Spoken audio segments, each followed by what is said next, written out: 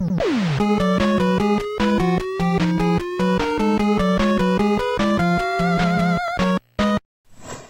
ça change un peu. Amis gamers, bonjour et bienvenue dans cette nouvelle édition de News Gaming, l'essentiel. On se retrouve aujourd'hui comme chaque dimanche pour découvrir toutes les infos qu'il ne fallait pas louper cette semaine. C'est parti Et on commence avec une news concernant un grand monsieur du jeu vidéo.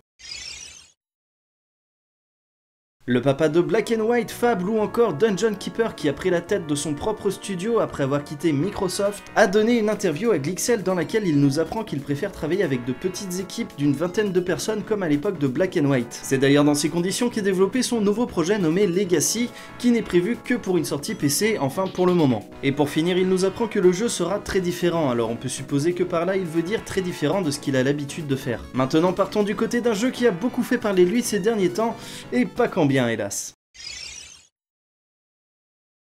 Le dernier Mass Effect a bien été taclé par les joueurs à cause de soucis notamment techniques dont les animations faciales. BioWare a donc décidé de prendre les devants et le 4 avril le studio a partagé un article qui décrit tous les projets d'amélioration. Projets qui ont commencé jeudi dernier avec le patch 1.05 qui a corrigé pas moins de 16 problèmes techniques dont ces fameux soucis d'animation faciale. Alors c'est très bien de leur part mais vous serez d'accord avec moi que le mieux serait encore de sortir des jeux non buggés. Bref, jeudi il y a eu ce fameux patch mais surtout Microsoft nous a présenté sa nouvelle machine.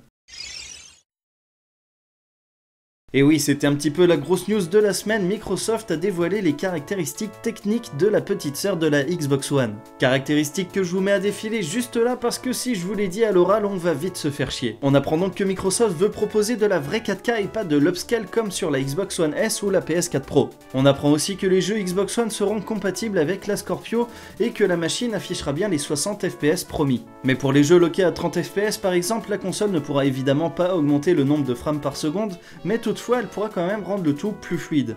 Et pour ce qui est de la 4K 60 FPS, Microsoft nous en a fait la démonstration avec Forza Motorsport 6. Alors maintenant il ne nous reste plus qu'à attendre pour découvrir son nom, son prix et sa date de sortie. En tout cas il ne fait aucun doute que cette console sera bel et bien la plus puissante du marché. Par contre même si elle promet d'envoyer du lourd, ses possesseurs n'auront pas le plaisir d'y vivre les prochaines aventures de Spider-Man.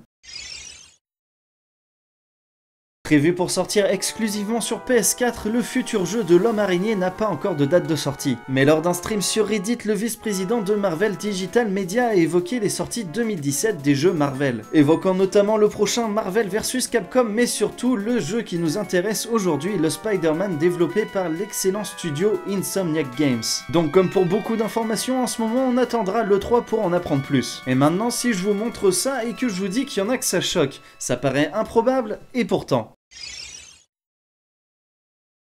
La société protectrice des animaux nous a habitués à ces prises de position contre certains jeux vidéo, comme Assassin's Creed 3 et la chasse à la baleine, ou plus récemment Warhammer et les fourrures que portent certains personnages. Et bien maintenant c'est au tour de One to Switch de passer dans le collimateur de la PETA. À cause, vous l'aurez compris, du mini-jeu qui consiste à faire semblant de traire une vache. Et oui, parce que selon eux, ce n'est pas bien de s'amuser en faisant référence à l'exploitation des vaches pour le lait. Alors je ne sais pas si vous êtes d'accord avec eux, mais personnellement je trouve ça un peu ridicule et même dommage parce que l'association perd un petit peu de crédibilité en prenant ce genre de position. Non, parce que vraiment, je vois pas en quoi ça peut faire penser à ça.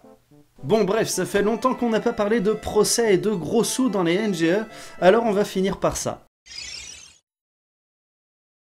Vous vous en rappelez peut-être, l'été dernier, Blizzard avait intenté un procès contre Bossland, une entreprise allemande qui propose aux joueurs d'acheter des hacks pour tricher sur Overwatch et d'autres jeux de la firme américaine. Alors si au départ on pensait que l'affaire n'était pas gagnée d'avance pour Blizzard, eh bien ça a été plus rapide que prévu puisque Blizzard a remporté la première bataille et Bossland doit leur verser 8,5 millions de dollars. Mais alors pourquoi je ne parle que d'une bataille gagnée? Tout simplement parce que Bossland a désormais l'interdiction de vendre leurs hacks mais uniquement aux états unis Donc en effet la la guerre n'est pas finie, mais ça démarre plutôt bien pour les créateurs de Warcraft.